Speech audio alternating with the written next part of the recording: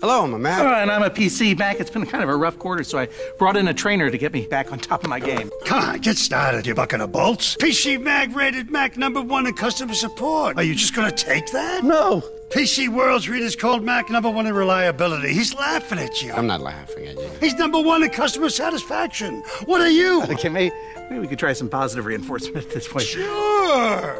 You're doing a good job, Mac. Thanks. Hey.